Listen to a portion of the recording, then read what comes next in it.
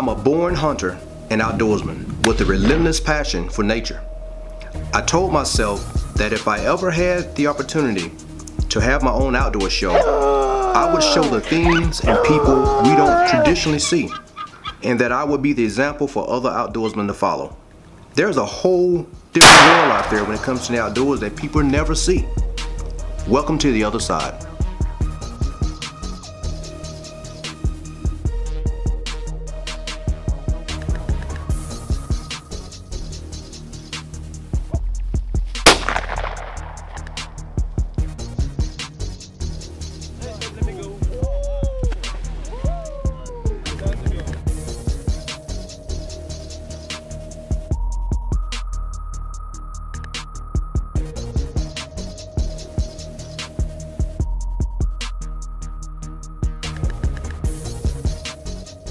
Non-Typical Outdoorsman TV is brought to you by individual donors like you and Thorogood Boots.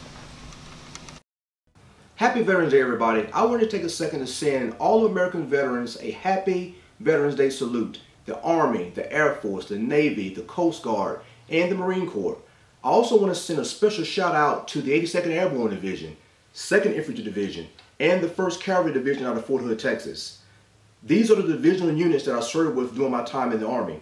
I have two combat tours with the 1st Cavalry Division, one to Iraq and one to Afghanistan. But on this week's episode, we're down in Comanche, Texas doing a youth hunt, and I guarantee y'all that you will see something that you have never seen before on outdoor television. We have a young man and we have a young woman out enjoying a hunt together, shooting their first deer together, having fun together. So let's cut to this hunt we did down in Comanche, Texas. I have a television show and I want to try to cover this youth hunt on that show for next season. So uh, at some point this evening, I'll switch up with somebody. We'll rotate, but I want to be able to get Jeff and, and his dad on, on camera, you know, shooting a deer or a hog or whatever. And then tomorrow morning, I'll go out with, uh, you know, either, either or, but, you know, the next day go out with uh, David and, and, Anastasia, who would also go by Anna. So uh, hope everybody have fun. This is the fourth year that we've done this hunt down here. And I've lost count off the top of my head of how many animals were shot, but it's normally a good hunt. Uh, for those of you all who are attending hunt this year, if you all, as you're doing this and having fun, go out, I mean, be thinking about who you can go out and talk to about coming to this hunt next year. This is a one and done kind of deal. It's like an introductory type of hunt. But for those of you all who have friends or other people, uh, then, you know, just, you know, let them know about the hunt. And after the hunt, you'll be able to tell them all kind of hero stories about how great it was, how fun it was, and why they should come next year. Okay, any questions? After going over the rules for the weekend's hunt, the game warden put out pertinent information on the antler restriction. In Texas, deer have to meet a certain antler restriction. then, after getting a good night's sleep, we were up in the morning, ready for the morning hunt. Chris has been with me on these hunts for the last three years, and he always brings a lot of excitement to the to the hunt. And he and Robert both have been instrumental in helping me with these hunts that we do down there in Texas. Razor, my Chesapeake Bay Retriever, was left at the lodge during the hunt, and he wasn't happy about it one bit. As we headed out for the morning hunt, we drove out, uh, got in some good blinds, and I think Jeff saw two deer over where they were. Um, I was with Jeff during the morning hunt, and then uh, Anna and her dad and Chris was over on another side of the um, property, hunting out of blind, and they didn't see anything. So after that, we came back and did an interview. All right, so we get ready for the evening uh, youth hunt. This morning, our two hunters, Jeffrey and Anastasia, also known as Anna, uh, went out for a hunt and they didn't see anything. I think they, Jeff, y'all saw two does yes. this morning. Uh, y'all didn't see anything? That's pretty much it. Okay. All right, just birds. Well, uh, this evening, as most of you all know, uh, this evening or any evening time is a good time for deer to start moving. So y'all are out here for hogs and for deer. So I'm wishing y'all the best. What caliber are you shooting? I'm shooting a 308. And what about you?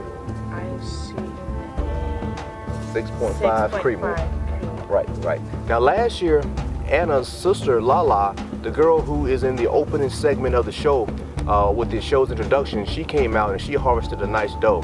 So uh, this year you may be able to shoot, you know, a few animals because you can shoot a hog, as many as you see. You can shoot a, uh, a one deer during this sitting. And then uh, tomorrow morning, y'all do the same thing, shoot a hog, as many hogs as you see. or a deer. So I wish y'all luck. And uh, this is both y'all first time hunting, right? Yes. Or is it? Well, your Eh. first time, but have you shot? Yeah, pretty much. pretty much. You haven't shot anything. No. You've been hunting, but you haven't I shot haven't- anything. I've been hunting, but I haven't shot anything. Okay, okay. Well, hey, this youth hunt that, that we run is uh, the perfect opportunity. So, good luck and make a good shot. Thank Uh-huh. I'll be in the blind with Jeff and his uh, father, uh, getting some good footage of the animal he shot, that he shoot, and then tomorrow I'll be in the morning with you and your daddy. Uh, hopefully, getting some good footage on air. So, good luck. You look camouflaged to the T, like your sister did last year, and me and uh, Jeff got on jeans and stuff. So, all right, let's see how the even hunt goes. All right. Trivia question. What is the maximum age to still be considered a youth hunter? Thorogood has been trusted by tradespeople and hardworking Americans since 1892, an employee owned company with two manufacturing facilities in Wisconsin. Thorogood has over 125 styles of handcrafted American made footwear. Our focus is job fitted footwear for the trades, public safety workers, military, and hunters. Thorogood's job fitted boots are built to get the job done. Visit ThorogoodUSA.com to find a dealer near you and trust Thorogood to take you through your life's pursuits. Trivia question. What is the maximum age to still be considered a youth hunter? Answer. C. In most states, hunters 17 years and younger are considered youth, while those over the age of 17 are considered an adult. But be sure to check your state regulations as to who is considered a youth hunter and is required to have a license. As we settled in for the evening hunt, it didn't take long before the deer to come to the feeder. Texas is one of those states where you can actually use a feeder for deer hunting, and that's used to help pattern the deer and to help, you know, get the deer coming out to the field regularly. It's very, very good for a youth hunt, as deer are guaranteed to show up.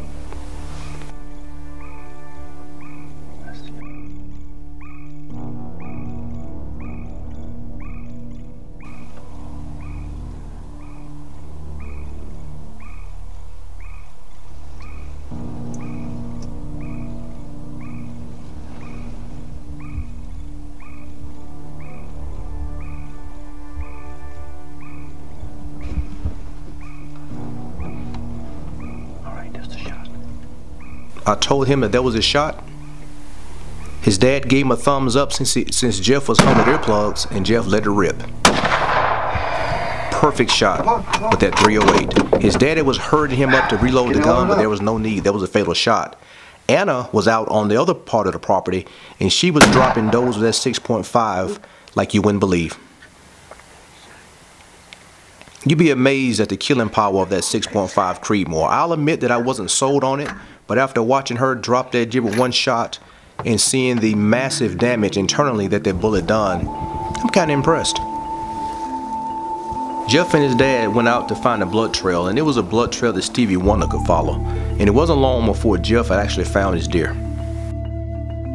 Okay, congratulations, Jeff, on your first deer. Turn around and smile at all of America and let America see, um, you know, that you got your first deer.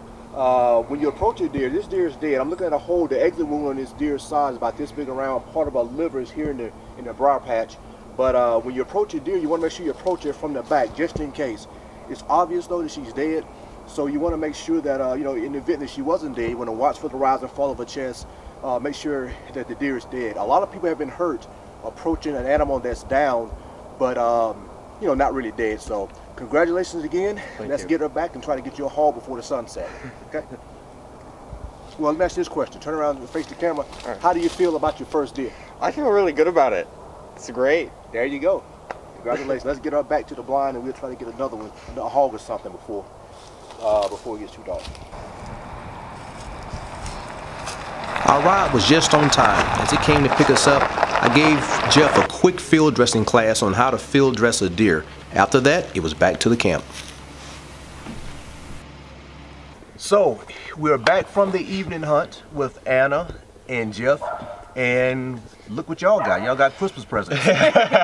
so, both of y'all just had y'all first successful hunt, shot your first deer. So, Anna, what did, how, what did you think about it? Um, I think it was cool. I mean, it was a lot of patience, but um, the patience turns into good and successful uh, shot. Okay, so so that's good. Your first deer ever. First time Yes. hunting anything, right? Yes, sir. Other than the target at the range when we do last. Jeff, what about you? You made a perfect shot at 308. So what do you think about the first hunt? I loved it. Even though I just sat there in silence for a good couple hours, it was just great and totally worth it. There you go. There you go. And you made a perfect shot. I mean, it was it was perfect. Uh, you did too, because yours went straight down with that spine shot. So this is the way we like to introduce people to hunting. Um, you know, perhaps when you get older, um, you know, you will hunt more, and then once you get a, to be an adult and have a family of your own, you'll introduce your kids to um, to hunting, and you will show your kids how to gut this deer we about to gut. so, so congratulations to both of y'all, and we're gonna go out and do it again in the morning. Okay. All right. Maybe, All right. The next morning, I was out in the blind with Anna and her dad, David.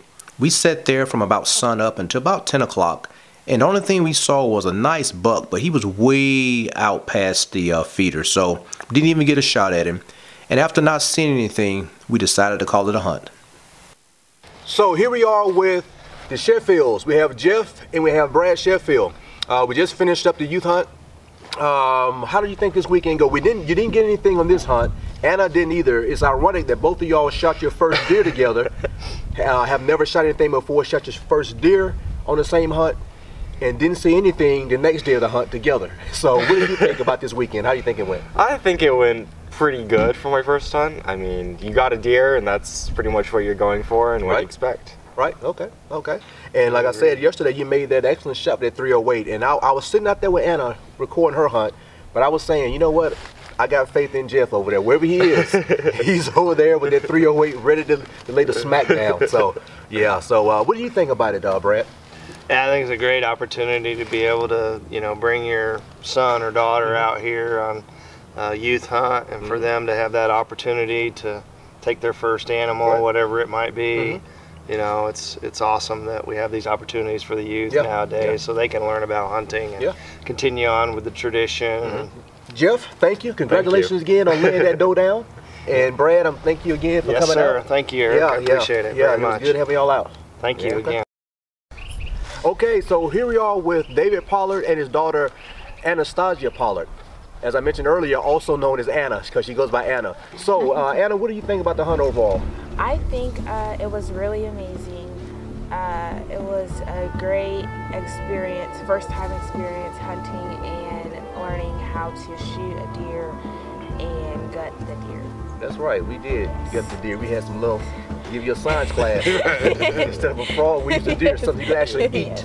You can't eat one of those pickled frogs that y'all use in class, but you can eat that deer that we, that we field dress. Uh, but, but you got one deer. I was hoping we would get more, but uh, just turned out you got one. But you definitely made a great shot. Dropped the deer where she stood in her tracks with that 6.5 Creedmoor. And so um, that, that's very good. Uh, David, what do you think about the hunt with your daughter?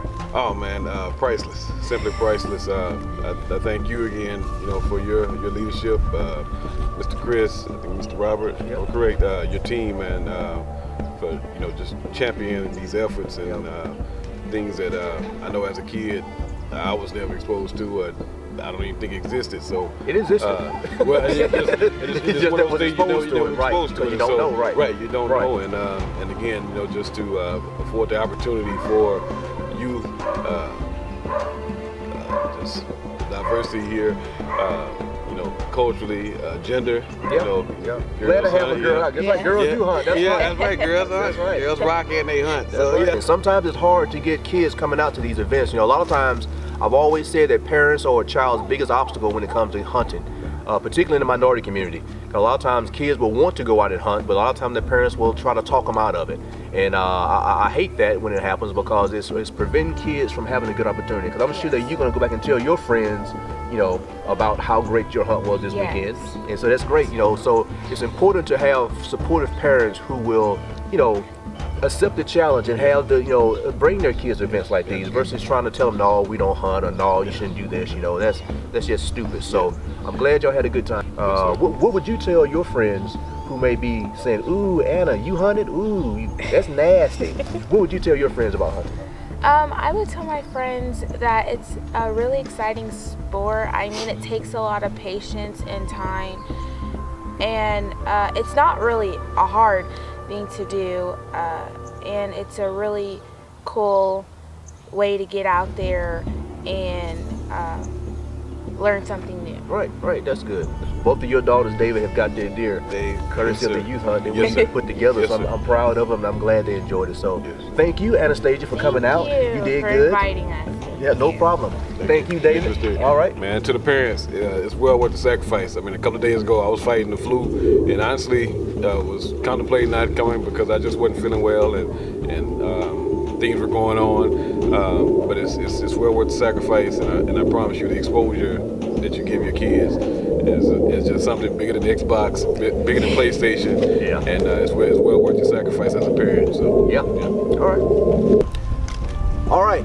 We have just finished up the youth hunt uh, with uh, Chris Parham and Robert Ramirez. And uh, I want to thank both of you all for your help in mentoring this hunt. I, what do y'all think about this weekend's hunt and all the other youth hunts that we've done together? Um, for the three years that I've been here, this one is, uh, all the hunts are excellent. Um, they're great. I love seeing the kids' expression on their faces when they harvest an animal. What about you, Robert? Well, I think it, more importantly, it, it shows uh, the parent, Yeah. you know, Yeah. uh, that that the kids are actually interested in this. They are. They are. And so we actually being able to take the, the parent out in the blind with a child. Right, right. You know, they can actually see what it's really all about. You know? I enjoy watching a child shoot an animal more than I enjoy shooting one myself, and I think that sentiment, that sentiment is shared by all of us. We do that, but uh, yeah, I want to thank y'all. Robert, I got something for you. I know you probably miss your friend. yeah, yeah, yeah. Because I haven't, I've had this since 2015, Well, thank but I you, want to return it back to its rightful owner. Well, thank you, and I know it got some use because I, you told me. I, I used it once. Yeah, But I hung it up on the wall, and I hung it up so long on the wall that I thought it was part of my collection. So I said, "This is not mine. I want to give this back Not- to Robert." not- but, not a problem. Like yeah, I but, I, said, but I I- want to thank you, Chris, for uh, for helping coming out to help. Robert, it's been a pleasure, and we'll do it again next year. We're gonna try to uh, fill the blinds uh, with kids, Mhm, and uh, and we're gonna make up for some unshot animals from this hunt. But Oh, uh, yeah. we, we, we, we, Redemption. we gonna, Redemption. That's right, redemption. There you go. All right, so There you go. thank y'all for coming out. You know, don't let him borrow. You won't get it for another six years. Thorogood has been trusted by tradespeople and hardworking Americans since 1892, an employee owned company with two manufacturing facilities in Wisconsin. Thorogood has over 125 styles of handcrafted American made footwear. Our focus is job fitted footwear for the trades, public safety workers, military, and hunters. Thorogood's job fitted boots are built to get the job done. Visit ThorogoodUSA.com to find a dealer near you and trust Thorogood to take you through your life's pursuits. You know, on this episode, I was going to talk about the shotgun, why it's unbeatable and why everyone should have one. But I, I decided to put something else in place of that, and I'll bring that shotgun episode or segment later on. But I decided to put something in that's very special, something that's going to touch your heart, something that you know is a proud moment. And I'll just quit talking because I can't even explain it. I'm just going to show you. Watch this. Koby is a 20 year old active outdoorsman who happens to have spina bifida. He loves to hunt, and for the past two years, Tony has been taking him out in hopes of getting the deer. Last year, he had a close call and a near miss while shooting a crossbow at a deer, but this year he was out to gun hunt with a 7mm 08. Koby assured us that if he got an opportunity, he was going to drop that deer.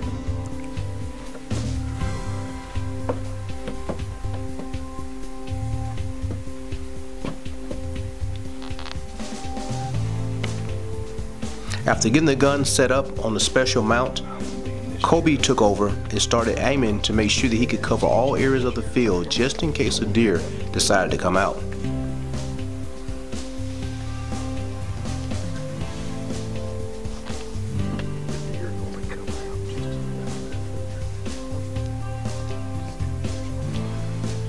Every 10 minutes or so, he would say, Come on, big boy, come on, big boy, just waiting for that deer to step out.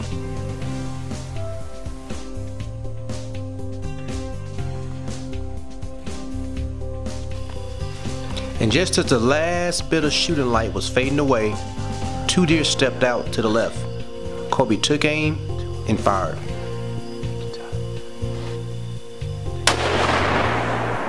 He got him. Got him, buddy. You got him, buddy. Good job. Don't fall. Don't fall. You got him. You got him. There you go. Finally got you one. You might want to hit him again though, cause he's still kicking.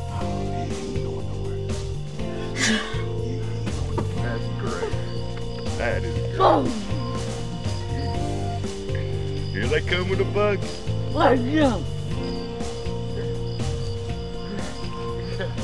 The girls are coming to see you, buddy. Got him. You got him. You got him! Got him! Good job, Koby! Good job, Koby.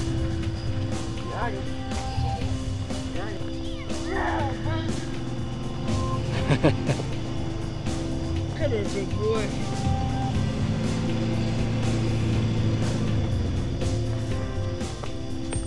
button, but he's legal. He's legal. It ain't broke no skin. There you go. Yeah. Yeah, boy. Better call you daddy. Oh, I will.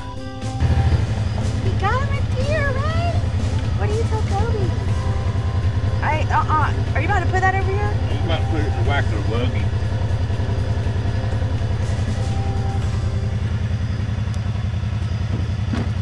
Oh, baby. He's strutting. Oh, God, oh, that's me. Yeah. I'm loving it. Yeah. Yeah. Woo. Okay, so here we are, uh, successful hunt, Koby, with your nice uh, unantlered, so your little young button buck that's not uh, shed his antlers yet or had his antlers come through. Uh, Tony, it's great what you're doing with uh, Koby for this hunt. How long have you been home with Koby? Uh, about two years. Uh, he, he went to prom with my daughter a few years ago, and we've been friends ever since. And he's always a welcome guest here. I see. So, so you, how, how do you feel, Koby, about your deer? Oh, Awesome. Awesome. I heard that you dropped it where it stood, right? You dropped it like it was yes, hot, sir. Yes, sir. and then you walked around like you was a boss Yes, sir. Yes, sir. after you shot it. Yes, sir. So, so, so that's good. That's good.